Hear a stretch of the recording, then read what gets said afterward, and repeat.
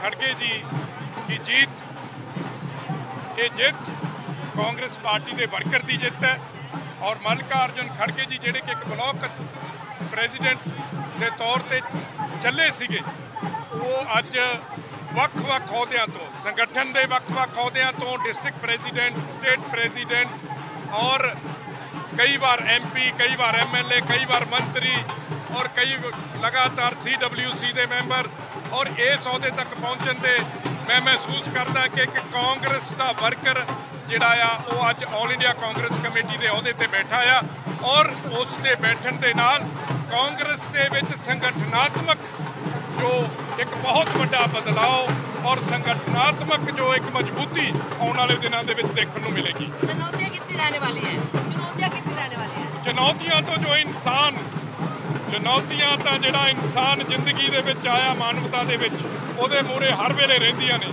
ਔਰ ਚੁਣੌਤੀਆਂ ਨੂੰ ਦਾ ਸਾਹਮਣਾ ਕਰਨਾ ਹੀ ਇੱਕ ਇਨਸਾਨ ਦਾ ਇੱਕ ਸਭ ਤੋਂ ਵੱਡਾ ਫਰਜ਼ ਹੁੰਦਾ ਹੈ ਔਰ ਜਿਸ ਜਿਸ ਨੇ ਜਿਸ ਵਿਅਕਤੀ ਨੇ ਹਮੇਸ਼ਾ ਚੁਣੌਤੀਆਂ ਦਾ ਸਾਹਮਣਾ ਕੀਤਾ ਆ ਉਹਨਾਂ ਨੂੰ ਉਸ ਨੂੰ ਇਸ ਚੁਣੌਤੀਆਂ ਤੋਂ ਵੀ ਕੋਈ ਮੁਸ਼ਕਲ ਨਹੀਂ ਨਜ਼ਰ ਆਉਂਦੀ देखते हैं मैं और इस विश्वास के साथ कि जिस लोकतांत्रिक ढंग से ये अपने आप में आज एक बहुत ऐतिहासिक और स्वर्णिम दिन है कांग्रेस के इतिहास में जहाँ चुनाव के पश्चात चुनाव हुआ है अध्यक्ष।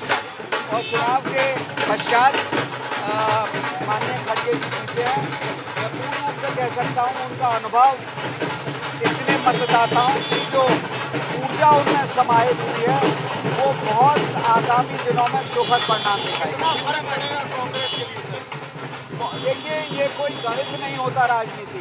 पर मैं इतना ज़रूर कह सकता हूँ, लोगों की उम्मीदों से ज़्यादा जो सकारात्मक असर पार्टी संगठन और सक- और शक्ति देखने को इलेक्शन साढ़े नौ हज़ार लोगों ने वोट देता है, और सारी पार्टी सारे काउंटिंग एजेंट एक मत सीखे। कोई कंट्रोवर्सी नहीं हुई। खरगे जी ने वोट पे ने और शशि थरूर को करीब दस परसेंट वोट पे आएगा। और ये साबित करते है कांग्रेस पार्टी इंटरनल डेमोक्रेसी है। पार्टी चुनाव करा सकती है। अकेली पार्टी है देश जो चुनाव करा के अपना अध्यक्ष चुनती है। लेकिन जिस तरीके से शशि थरूर के जो काउंटिंग एजेंट थे उन्होंने एक पत्र भी लिखा है कि धांधली का आरोप ऑलरेडी दोनों तरफों को ये इश्यू दिए गए। इलेक्शन कमीशन रखा गया है। कमीशन ने उससे कल की और सारे सेटिस्फाइड ने।